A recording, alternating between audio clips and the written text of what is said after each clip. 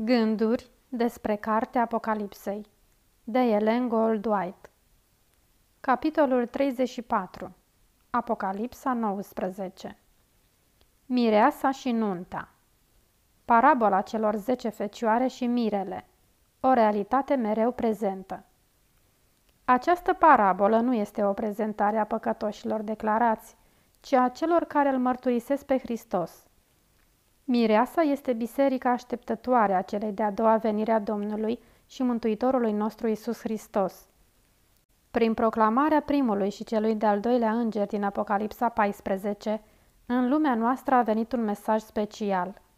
Primul și al doilea mesaj îngeresc sunt unite și desăvârșite în al treilea. Sub proclamarea acestor mesaje a fost împlinit strigătul. Iată, mirele vine! Cei ce au crezut în aceste mesaje au fost constrânși să plece din biserici, deoarece au predicat cea de-a doua venire a lui Hristos pe norii cerului. Întreaga lume trebuia să audă mesajul. Iată, vine mirele, ieșiți în întâmpinare. Mulți dintre cei ce au auzit aceste mesaje au crezut că vor trăi să vadă venirea lui Hristos. Însă a fost o întârziere în venirea mirelui, cu scopul ca toți să poată avea ocazia de a auzi ultimul mesaj al Harului pentru o lume decăzută. Dacă cei ce au pretins că cred adevărul și-ar fi făcut partea lor ca fecioare înțelepte, solia ar fi fost dusă până acum oricărui neam, oricărei seminții, oricărei limbi și oricărui norod. Dar cinci au fost neînțelepte. Adevărul ar fi putut fi proclamat de zece fecioare, însă doar cinci au făcut provizia necesară pentru a însoți grupa care umbla în lumina dată lor. Prima, a doua și a treia solie îngerească trebuie să fie repetate. Trebuie să fie rostită către biserică strigarea. A căzut, a căzut Babilonul cetatea cea mare, a ajuns un locaș al dracilor. O închisoare a oricărui duh necurat, o închisoare a oricărui păsări necurate și urâte, pentru că toate neamurile au băut din vinul mâniei curviei ei și împărații pământului au curvit cu ea și negustorii pământului s-au îmbogățit prin risipa desfătării ei. Ieșiți din mijlocul ei poporul meu, ca să nu fiți părtași la păcatele ei și să nu fiți loviți cu urgiile ei, pentru că păcatele ei s-au îngrămădit și au ajuns până în cer și Dumnezeu și-a adus aminte de nelegiuirile ei. Mulți dintre cei care s-au ridicat să întâmpine mirele, sub mesajul primului și celui de-al doilea înger, L-au refuzat pe al treilea, ultimul mesaj de probă ce trebuia dat lumii, și o poziție similară va fi luată atunci când va fi făcută ultima strigare. Biserica este mireasa. Dumnezeu este soțul bisericii sale. Biserica este mireasa, soția mielului. Fiecare credincios adevărat este o parte a trupului în Hristos. Hristos privește necredincioșia manifestată de poporul său față de el, ca necredincioșia unei soții față de soțul său. Noi trebuie să ne amintim că suntem membri ai trupului lui Hristos. Biserica este mireasa, soția mielului. Ea ar trebui să se mențină curată, consacrată și sfântă. Niciodată n-ar trebui să-și permită vreo nesăbuință pentru că ea este mireasa unui împărat. Totuși, ea nu-și dă seama de poziția ei înălțată – dacă ar înțelege aceasta, ar fi glorioasă în întregime. Biserica este mireasa lui Hristos și membrii ei trebuie să se unească cu conducătorul ei. Dumnezeu ne avertizează să nu ne mânjim hainele. Căsătoria este unirea omenirii cu divinitatea în cel credincios. Parabola hainei de nuntă pune în fața noastră o lecție cu cele mai importante consecințe. Prin căsătorie, este reprezentată unirea omenirii cu divinitatea. Haina de nuntă reprezintă caracterul pe care trebuie să-l aibă toți cei ce vor fi socotiți potriviți pentru a fi oaspeți la nuntă. Ce înseamnă a fi una cu Dumnezeu, așa cum Hristos este una cu Tatăl? Hristos a devenit una cu noi în trup pentru ca noi să putem deveni una cu El în spirit. Noi trebuie să prezentăm adevărul așa cum este El în Isus. Hristos a venit în lume pentru a salva pe păcătoși. Timp de 30 de ani a trăit ca exemplu al nostru. El a suportat insultă, rușine, respingere și moarte. Totuși, El trăiește. Este un mântuitor viu. s-a înălțat la cer pentru a face mijlocire pentru noi. Chiar înaintea crucificării lui, s-a rugat ca ucenicii săi să poată fi una cu el, așa cum el este una cu tatăl. Este aceasta într-adevăr o posibilitate prin care omul păcătos și căzut să poată fi adus într-o astfel de relație înălțătoare cu Hristos? O așa unire cu Hristos va aduce lumină, pace și mângâiere sufletelor noastre. El s-a rugat ca ucenicii săi să poată fi una cu el, după cum el a fost una cu Tatăl. Oamenii au declarat că această unire cu Hristos este o imposibilitate, dar Hristos a făcut-o posibilă, aducându-ne în armonie cu El însuși, prin meritele vieții și ale sacrificiului său. De ce am suspectat noi dragostea și puterea lui Dumnezeu? De ce să nu ne așezăm de partea credinței în această privință? Ați contemplat voi farmecul și atractivitatea lui Isus? Atunci căutați să călcați pe urmele pașilor lui. El a venit pentru a descoperi lumii pe Tatăl și ne-a încredințat lucrarea de reprezentare a dragostei sale, a curăției, bunătății și simpatiei delicate pentru fiii oamenilor. Să ne ridicăm ochii noștri către ușile deschise ale sanctuarului ceresc, unde lumina și slava lui Dumnezeu strălucește pe fața lui Isus Hristos, care este în stare să-i salveze pe deplin pe cei care vin la Dumnezeu prin el. De ce nu vorbiți despre planul de mântuire? De ce nu săpați în minele adevărului pentru comorile înțelepciunii, ca să puteți aprecia făgăduințele lui Dumnezeu? De ce nu cercetați dragostea lui Hristos și nu vorbiți despre planul de mântuire? Când Filip a cerut învățătorului să îl arate pe tatăl, Isus a privit cu durere la el și i-a spus De atâta vreme sunt cu voi și nu mai cunoscut Filipe. Cine m-a văzut pe mine a văzut pe tatăl. Cum zici tu, dar, arată-ne pe tatăl? Nu crezi că eu sunt în tatăl și tatăl este în mine? Cuvintele pe care vi le spun eu, nu le spun de la mine, ci Tatăl care locuiește în mine. El face aceste lucrări ale Lui. Viețile noastre pot fi legate în așa fel de Dumnezeu, încât noi putem să avem această unire cu Hristos. Gândurile, înclinațiile, dorințele și gusturile noastre, toate pot fi de partea Domnului. Atunci noi nu vom avea nimic separat și distinct de Hristos. Va fi o armonie perfectă între inimile noastre și a Lui, așa că noi vom fi una cu El după cum El este una cu Tatăl. Și acum este timpul de a intra în această unire cu Hristos. Noi avem doar ziua de azi pentru noi înșine. Ziua de mâine nu ne aparține.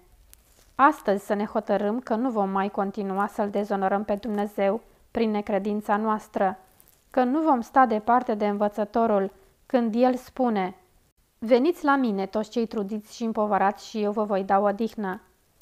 Masa a fost întinsă și Hristos te invită la petrecere. Vom rămâne noi departe refuzând dărnicia sa și declarând, El nu intenționează să-mi dea mie toate astea. Noi obișnuim să cântăm un imn care descrie o sărbătoare a unei case strânse pentru a servi o masă bogată la invitația tatălui. În timp ce copiii s-au strâns la masă fericiți, în prag a apărut un copil cerșetor flămând. A fost invitat să intre, dar el s-a îndepărtat cu tristețe exclamând, Eu nu am tată aici. Veți lua voi această atitudine când Isus vă invită înăuntru? O, dacă ai un tată în curțile de sus, te implor să arăți aceasta. El dorește să te facă părtaș al mesei și binecuvântărilor lui bogate. Toți cei ce vin cu dragostea încrezătoare a unui copil vor găsi un tată acolo. Cum ar putea Domnul să-și exprime dragostea sa pentru noi într-o limbă mai duioasă decât aceea în care a exprimat-o în prețiosul său cuvânt? El ne spune exact ce trebuie să facem ca să fim salvați. Cât de mult doresc ca toți să putem crede făgăduințele lui Dumnezeu. Căsătoria are loc în timp ce Isus lucrează în locul preasfânt, în timpul judecății de cercetare. Am văzut îngeri care se grăbeau în cer, încoace și încolo. Un înger cu o călimară la brâu s-a reîntors de pe pământ și a raportat Domnului Isus că lucrarea lui a fost îndeplinită și că sfinții fusese numărați și sigilați. Apoi l-am văzut pe Domnul Isus, care slujise în fața chivotului, ce cuprindea cele zece porunci, cum lăsa să-i cadă cădelnița. El și-a ridicat mâinile și a zis cu glas tare, S-a sfârșit. Toată oastea îngerească și-a scos coroanele când Domnul Isus a făcut declarația solemnă. Cine este nedrept să fie nedrept și mai departe. Cine este întinat să se întineze și mai departe. Cine este fără prihană să trăiască și mai departe fără prihană. Și cine este sfânt să se sfințească și mai departe. Fiecare caz a fost decis pentru viață sau pentru moarte. În timp ce Domnul Isus a slujit în sanctuar, a avut loc judecata pentru drepții cei morți și apoi pentru drepții cei vii. Domnul Hristos a primit împărăția deoarece a făcut ispășire pentru poporul său și i-a spălat de păcate. Au fost înscriși supuși împărăției. A avut loc căsătoria mielului. Împărăția și măreția împărăției, din tot cerul, s-a dat lui Isus și moștenitorilor mântuirii, iar Isus urma să domnească ca împărat al împăraților și domn al domnilor. Mireasa primește numele Mirelui, a tatălui Mirelui și numele noului ei cămin. Cu alte cuvinte, căsătoria și sigilarea sunt identice. Toți cei 144 de mii au fost sigilați și erau perfect uniți. Pe frunțile lor era scris Dumnezeu, noul Ierusalim și o stea strălucitoare cu numele cel nou al lui Isus. La vederea stării noastre fericite și sfinte, păcătoșii s-au înfuriat și s-au repezit cu violență să pună mâinile pe noi și să ne arunce în închisoare. Dar noi am întins mâna în numele Domnului și ei au căzut neputincioși la pământ. Atunci sinagoga satanei înțelese că Dumnezeu ne-a iubit pe noi, care ne-am spălat picioarele unii altora și am salutat pe frați cu o sărutare sfântă și ei s-au închinat la picioarele noastre. Victoria mielului Biserica în ultimul ei marș triumfal În timp ce judecata de cercetare se continuă în cer, în timp ce păcatele credincioșilor pocăiți sunt îndepărtate din sanctuar, în mijlocul poporului lui Dumnezeu trebuie să se producă o lucrare deosebită de curățire, de îndepărtare a păcatelor. Această lucrare este prezentată mai clar în soliile din Apocalipsa 14. Când această lucrare va fi împlinită, urmașii lui Hristos vor fi gata pentru venirea sa. Atunci darul lui Iuda și al Ierusalimului va fi plăcut Domnului ca în zilele cele vechi, ca în anii de odinioară. Maleah 3 cu 4 Atunci biserica, pe care Domnul la venirea sa o va lua la sine, va fi o biserică slăvită, fără pată sau zbârcitură, sau altceva de felul acesta. Efesen 5 cu 27 Atunci se va arăta ca zorile frumoasă ca luna, curată ca soarele și cumplită ca niște oști sub steagurile lor. Cântarea cântărilor 6 cu 10 Îngerul a zis, privește! Atenția mea a fost atunci atrasă către ceata pe care o văzusem și care era puternic zguduită. Mi-au fost arătați aceea pe care îi văzusem mai înainte – plângând și rugându-se cu sufletul chinuit de moarte. Ceata îngerilor păzitori fusese dublată, iar ei erau îmbrăcați cu armătură de la cap până la picioare. Înaintau în ordine desăvârșită ca o campanie de soldați. Am auzit pe aceia care erau îmbrăcați cu armătura rostind adevărul cu mare putere. Am întrebat ce a determinat această mare schimbare. Un înger a răspuns, ploaia târzie. Curând am auzit glasul lui Dumnezeu care zguduia cerul și pământul. Vrăjmașii lor, păgânii din jurul lor, cădeau ca morți. Ei nu puteau să sufere lumina care strălucea asupra celor sfinți și mântuiți. Lumina și slava aceasta au rămas asupra lor până când Domnul Isus a fost văzut pe norii cerului. Haina albă a victoriei Este bine să iubești și să dorești frumosul, dar Dumnezeu pretinde de la noi să iubim mai întâi frumusețea cea mai înaltă și să tindem după frumusețea care nu pierde niciodată. Nici o podoabă exterioară nu se poate compara în valoare și frumusețe cu acel spirit blând și liniștit, inul cel alb și curat, Apocalipsa 19 cu 14, pe care îl vor purta toți sfinții de pe pământ.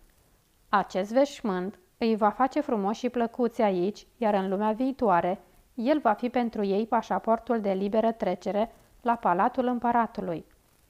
Făgăduința sa este, ei vor umbla cu mine în veșminte albe, căci sunt vrednici. Apocalipsa 3 cu 4 Războiul final împotriva mielului și cei chemați, aleși și credincioși.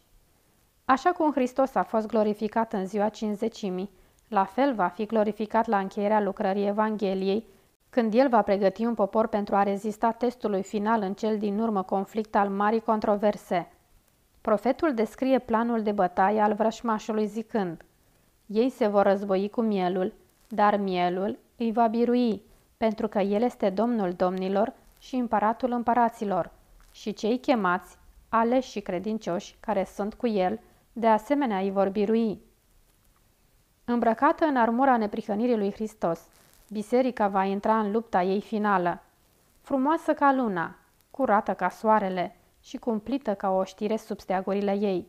Cântarea cântărilor 6 cu 10 Ea trebuie să meargă în toată lumea, biruitoare și ca să biruiască. Apocalipsa 19 cu 11 la 16 Apocalipsa 19 cu 11 la 16 este Armagedonul. Noi trebuie să studiem revărsarea plăgii a șaptea. Puterile răului nu vor renunța la conflict fără luptă, dar providența are o parte de îndeplinit în bătălia Armagedonului.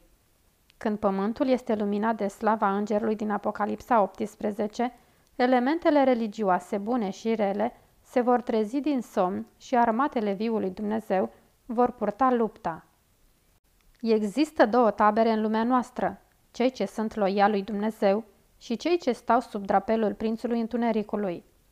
Satana și îngerii lui vor veni cu putere, semne și minuni mincinoase pentru a înșela pe cei ce locuiesc pe pământ și, dacă este posibil, chiar și pe cei aleși. Crizele sunt chiar înaintea noastră.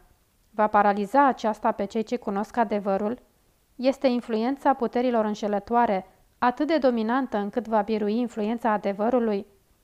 Bătălia Armagedonului se va disputa curând. Cel pe a cărui haine stă scris numele, împăratul împăraților și domnul domnilor, conduce armatele cerului pe cai albi, îmbrăcat în pânză de in curată și albă. În ultima mare luptă se descoperă două mari puteri. Pe de o parte stă creatorul cerului și al pământului. Toți cei ce sunt de partea sa poartă semnul său. Ei sunt ascultători de poruncile lui. De cealaltă parte stă prințul întunericului, cu cei ce au ales apostazia și răzvrătirea.